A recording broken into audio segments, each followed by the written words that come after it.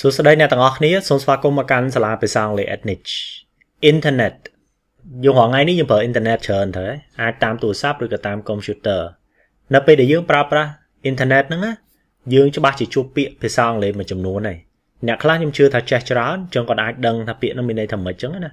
អ្នកខ្លះទៀតថ្មីថ្មីឬក៏ចេះភាសាអង់គ្លេសមិនសូវច្រើនទេគាត់ជួបពាក្យភាសាអង់គ្លេសខ្លះគាត់ប្រហែលជាអត់ដឹងទេនៅពេលដែលគាត់ប្រើ Internet ហ្នឹង ចឹងនៅក្នុងវីដេអូនេះខ្ញុំឆ្លៀតប្រាប់អ្នកទាំងអស់គ្នាពាក្យភាសាអង់គ្លេសមួយចំនួនតាក់ទងជាមួយនឹងរឿងអ៊ីនធឺណិតហ្នឹងហើយសង្ឃឹមថាវាជាប្រយោជន៍សម្រាប់អ្នកទាំងអស់គ្នាឥ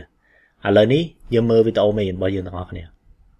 ពាក្យទី1ដែលអ្នកទាំងអស់គ្នាជួបគឺជាពាក្យ administrator ឬក៏ពាក្យ admin If you lose your password please contact the administrator for help គេថាបើសិនជាយើងបាត់បង់លេខកូដសម្ងាត់របស់យើង password please contact the administrator for help សូមតាក់ទង administrator សម្រាប់ជំនួយ administrator មានន័យថារដ្ឋបាលបើនៅក្នុងអ៊ីនធឺណិតគឺគេសំដៅទៅនរណាគេដែលគ្រប់គ្រងគេហទំព័រណាមួយ គ្រប់គ្រង app អីមួយចឹងណាឬក៏គ្រប់គ្រង page នៅក្នុង Facebook អីមួយចឹងទៅចឹងយើងតាក់ទងគាត់ទៅនៅពេលដែលយើងមានបញ្ហាអីមួយតាក់ទងជាមួយនឹង website មួយ app ឬក៏តាក់ទងជាមួយនឹង page នៅលើ Facebook ហ្នឹងពាក្យពេញគឺ administrator ពាក្យខ្លីគេអានថា admin ចឹងនេះគឺជាពាក្យទី1ណាហើយយើងនឹងទៅពិនិត្យមើលពាក្យផ្សេងផ្សេងទៀតប៉ុន្តែមុនទៅខ្ញុំចង់ប្រាប់អ្នកទាំងអស់គ្នាបន្តិចថាបើសិនជាអ្នកទាំងអស់គ្នាចង់រៀនភាសាអង់គ្លេសតាមរយៈវីដេអូមេរៀនខ្លីៗអញ្ចឹងណាអ្នកទាំងអស់គ្នាគួរតែប្រើប្រាស់ app Adnich Online ចំណាយត្រឹមតែ2000រៀលក្នុងមួយថ្ងៃអ្នកទាំងអស់គ្នានឹងទទួលបានទី1វីដេអូមេរៀនថ្មីថ្មីមានជារៀងរាល់សប្តាហ៍វីដេអូមេរៀនអាចតាក់ទងជាមួយនឹងពាក្យវេយ្យាករណ៍តេស្ត IELTS តេស្ត TOEFL លក្ខណៈទី2គឺអ្នកទាំងអស់គ្នាមានលំហាត់សម្រាប់អនុវត្តធ្វើ មើលវីដេអូមេរៀនហើយមានលំហាត់ធ្វើទៀតទី3គឺអ្នកទាំងអស់គ្នាអាចចោទជាសំណួរបានមើលវីដេអូមេរៀនអត់យល់អាចសួរចង់ដឹងអំពីការសិក្សាភាសាអង់គ្លេសមានប្រសិទ្ធភាពក៏អ្នកទាំងអស់គ្នាអាចសួរបានដែរលោកគ្រូអ្នកគ្រូនៅលើ app Adnich Online នឹងឆ្លើយជូនអ្នកទាំងអស់គ្នាចាប់អារម្មណ៍ចង់ប្រើប្រាស់ app Adnich Online សូមតាក់ទងទៅ Telegram ដែលមានលេខ011 45 5567ពាក្យទី2របស់យើងគឺ application ដែលពាក្យខ្លីយើងអានថា app ខ្មែរយើងក៏យើងឥឡូវនេះយើងនិយាយថា app app app app ហ្នឹងដែរ app ហ្នឹងគឺនៅលើទូរស័ព្ទណាយើងចុចយើងអីវាប្រើហ្នឹងគឺទូរស័ព្ទ smartphone ហ្នឹងគេមាន apps ច្រើនពាក្យពេញរបស់វាគឺ application Have you downloaded and used Adnich online application ចឹងសាលាភាសាអង់គ្លេស Adnich ឥឡូវនេះក៏យើងមាន app មួយដែរឬក៏ application មួយដែរដែលមានឈ្មោះថា Adnich online តាមរយៈ app ហ្នឹងអ្នកដែលចូលទៅក៏អាចរៀនភាសាអង់គ្លេសបានបើអ្នកទាំងអស់គ្នាចាប់អារម្មណ៍ជាមួយ app ហ្នឹងចង់ប្រើប្រាស់អ្នកទាំងអស់គ្នាអាចតាក់ទង Telegram ដូចដែលខ្ញុំបានបញ្ជាក់ហ្នឹងទៅ 011 45 55 67ឥឡូវនេះយើងទៅមើលពាក្យផ្សេងទៀតពាក្យមួយទៀតនៅទីនេះគឺជាពាក្យ browser browser My iPhone uses a default browser called Safari My iPhone uses a default browser called Safari browser បើអ្នកទាំងអស់គ្នាប្រើ computer computer ប្រើ Windows browser បើអ្នកទាំងអស់គ្នាដែលមកមួយកុំព្យូទ័រគឺ Internet Explorer ប៉ុន្តែខ្ញុំដូចជាឮគេនិយាយថា Internet Explorer ហ្នឹងគឺទៅហើយលេងមានហើយក្រៅពីហ្នឹងអ្នកខ្លះទៀតអាចប្រើ Google Chrome គេអានតែ Chrome ណាមិនមែន Chrome ណាគឺ Google Chrome ហើយនៅមានផ្សេងផ្សេងទៀត browser មានច្រើនណាអ្នកខ្លះអាចប្រើ Firefox អីចឹងណាបើសម្រាប់ iPhone ណាភាគច្រើនគឺប្រើ Safari ហ្នឹងហើយចឹងអ្វីដែលមកហ្មងយើងអត់មានផ្លាស់ប្ដូរគេប្រើពាក្យ default ចឹង default browser គឺមានន័យថា browser ដែលមកអញ្ចឹងតែម្ដងមកជាប់មួយទូរស័ព្ទហ្មង បើយើងផ្លាស់ប្ដូរគេលេងហៅថា default ទៀតដែរចឹងហើយបានពាក្យ default នេះនៅពេលដែលអ្នកទាំងអស់គ្នាចុច setting អីមួយក្នុងទូរស័ព្ទបើយើងចង់ត្រឡប់ទៅដើមវិញគេសួរយើងតើចង់បាន default setting នឹងអត់ចឹងយើងចេះរើសអាហ្នឹងទៅយើងត្រឡប់ទៅដើមវិញពាក្យនេះគឺជាពាក្យ clickbait clickbait ហើយរងថ្ងៃនេះមានជនរងគ្រោះច្រើនណាស់ដោយសាររឿង clickbait ហ្នឹងនៅលើ Facebook ភាគច្រើន Don't click on that trash it's just clickbait for the gullible ប្រយោគនេះស្ដាប់ទៅដូចឈឺតិចណាគេថាកុំចុចទៅលើសម្រាមនឹងវាគឺជា clickbait ទេសម្រាប់មនុស្សដែលងាយជឿឬក៏មនុស្សដែលតិចស clickbait ហ្នឹងឧទាហរណ៍អ្នកទាំងអស់គ្នាមើល Facebook អ្នកទាំងអស់គ្នាឃើញព័ត៌មានណាមួយគេទៅសេចេញមករន្ធត់អីចឹងណាឬក៏ទៅសេចេញមកតាក់ចំណាប់អារម្មណ៍ឲ្យយើងចុចលើហ្នឹងស្រាប់ពេលយើងចុចទៅយើងអានទៅអត់មានអីសោះអាហ្នឹងឯងគេហៅថា clickbait អ្នកទាំងអស់គ្នាមើលពាក្យនេះមកពីពាក្យពីរទីមួយគឺ click ទីពីរគឺ bait click នេះគឺចុចអាយើងចុច click click ហ្នឹងដល់ bait នេះគឺនុយនុយស្ទូចថៃគឺប្រើពាក្យ bait ហ្នឹងអញ្ចឹង click bait គឺមានន័យថាគេដាក់នុយឲ្យយើងចុចអញ្ចឹងហើយបានយើងឃើញអា click bait ហ្នឹងយើងកុំចុចអីអញ្ចឹងពាក្យហ្នឹងចាប់ពីថ្ងៃហ្នឹងទៅអ្នកនរឃើញព័ត៌មានអីមួយទៅសេអា title ចំណងជើងអីញ៉ៃញ៉ៃហ្នឹងអ្នកនរអាចប្រើពាក្យហ្នឹងបាន it's just a click bait អញ្ចឹងប្រើពាក្យហ្នឹងទៅអ្នកដែលគេចេះភាសាអង់គ្លេសគេយល់ដែរពាក្យមួយទៀតនៅទីនេះគឺជាពាក្យ facts ដែលពាក្យ facts ហ្នឹងមកពីពាក្យពេញថា frequently asked questions frequently asked questions ជាទូទៅគេហាក់ទំព័រអីមួយអញ្ចឹងណាឬក៏ page អីមួយអញ្ចឹងគេច្រើនតែមានអា facts ហ្នឹងមានន័យថាវាជាសំណួរ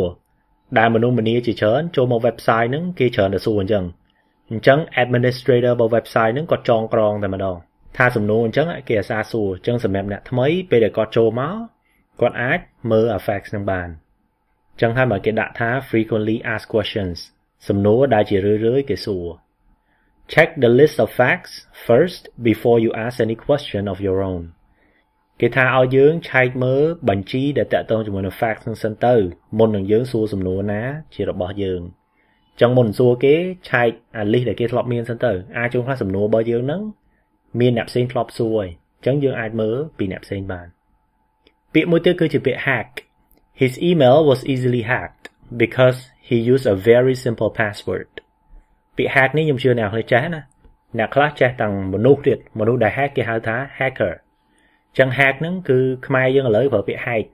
ប៉ុន្តែខ្ញុំមិនដឹងថាត្រូវខុសឲ្យបកប្រែអញ្ចឹងណាប៉ុន្តែពាក្យដែលត្រូវភាសាអង់គ្លេសប្រើពាក្យថា hack hack ហ្នឹងគឺមានន័យថាគេលួចប្រើប្រាស់ឬក៏លួចគ្រប់គ្រងអីដែលជារបស់យើងហើយជាទូទៅគេលួចបានហ្នឹងដោយសារយើងធ្វើប្រហែសធ្វើប្រហែសរឿងលេខសម្ងាត់ password របស់យើងហ្នឹងណាចឹងដូចឧទាហរណ៍នេះចឹងគេដាក់ថា his email was easily hacked because he used a very simple password គេថា email របស់គាត់ហ្នឹងគឺគេ hack ងាយស្រួលមែនទែនពីព្រោះគាត់ប្រើប្រាស់លេខកូដសម្ងាត់មួយដ៏សាមញ្ញមែនទែនអញ្ចឹងអានេះក៏ជាសារដាស់តឿននៅអ្នកអង់គ្លេសដែរណាចង់កុំឲ្យគេ hack អីរបស់យើងស្រួលដូច Facebook ធ្វើអីហ្នឹង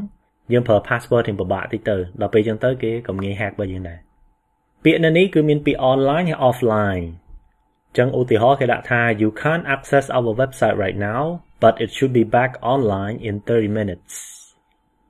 គេថាអ្នកឯងមិនអាចប្រើប្រាស់គេហទំព័ររបស់យើងបានទេឥឡូវនេះប៉ុន្តែវានឹងមក online វិញក្នុងរយៈពេល30នាទី online គឺមានន័យថាយើងភ្ជាប់ទៅជាមួយអ៊ីនធឺណិតហើយ យើងអាចកំពុងប្រើប្រាស់ឬក៏យើងភ្ជាប់ទៅអ៊ីនធឺណិតមានអ៊ីនធឺណិត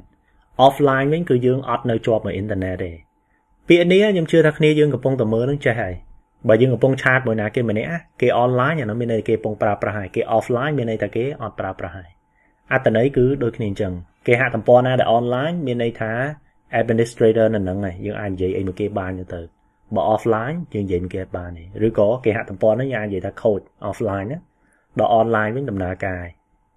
នៅទីនេះមានពាក្យ3ដែលអ្នកទាំងអស់គ្នាគួរចេះដែរទី1គឺ podcast ទី2គឺ blog ទី3គឺ vlog I had a blog in the past and used to blog almost every day ពាក្យ blog នេះគេអាចប្រើជា noun ផងជា verb ផងគេថាគេមានគេហទំព័រផ្ទាល់ខ្លួនមួយនៅអតីតកាលហើយធ្លាប់តែសេអាគេហទំព័រ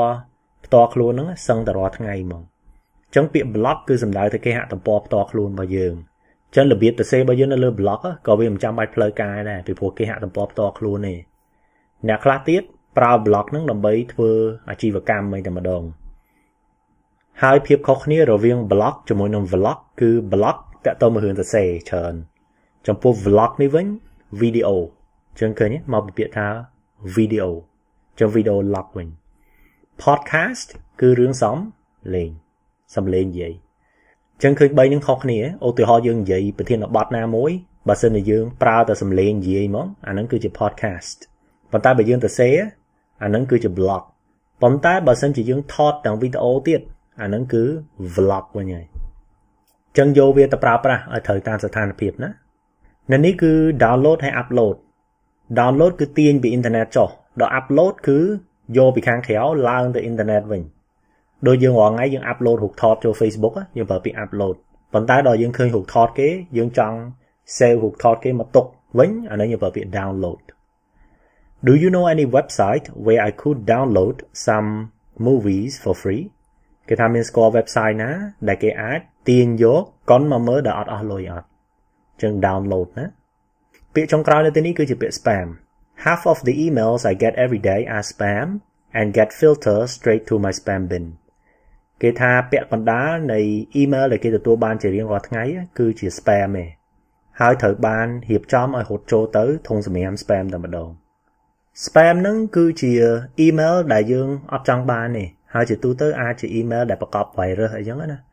ឬក៏ email ខ្លះផ្សាយពាណិជ្ជកម្មអីចឹងទៅអញ្ចឹង email របស់យើងពេលយើងបង្កើតមកអត់មាននរណាគេចង់បានទាំងអស់ហ្នឹងទេអញ្ចឹងហ៎យើងចង់តាក់ទងមួយមនុស្សណាសំខាន់របស់យើងអញ្ចឹងទៅអញ្ចឹង រាល់ email ណាដែលយើងមិនចង់បានទេតែវាចិត្តទៅហត់ចូលមកយើងអាហ្នឹងហើយយើងហៅថា spam ចប់ហើយណាអ្នកទាំងអស់គ្នាវីដេអូមេរៀនរបស់យើងមានតែប៉ុណ្្នឹងទេហើយវីដេអូមេរៀននេះគឺគ្រប់គ្រងដោយ app Adniche Online បើសិនជាអ្នកទាំងអស់គ្នាចាប់អារម្មណ៍ចង់រៀនភាសាអង់គ្លេសតាមរយៈ app Adniche Online កុំភ្លេចតាក់ទងទៅ Telegram ដែលមានលេខ011 45 5567អរគុណជំរាបលា